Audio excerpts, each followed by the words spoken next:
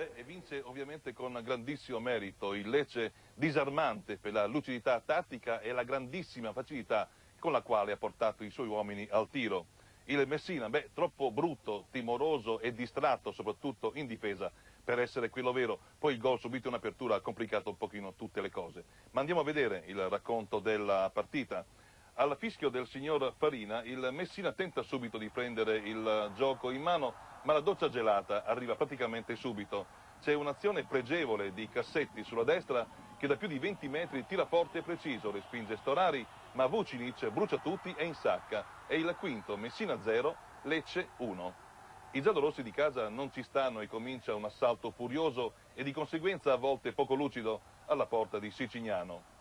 Di Napoli carica il suo sinistro su punizione ma non c'è niente da fare. Anzi, al 38 il Lecce rompe l'assedio c'è un rimbalzo che inganna tutti, ma non Babù, che appoggia Bielanovic pronto al tiro. Palla in rete e raddoppio del Lecce.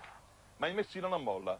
Donati in slalom a Sullo, tiro al volo, Siciliano si annoda un po', perde la palla e Di Napoli mette dentro. È il 42esimo, Messina 1, Lecce 2. Ma se andiamo a rivedere, c'è Sullo in fuorigioco, vedete anche la diga dell'area di rigore è in fuorigioco.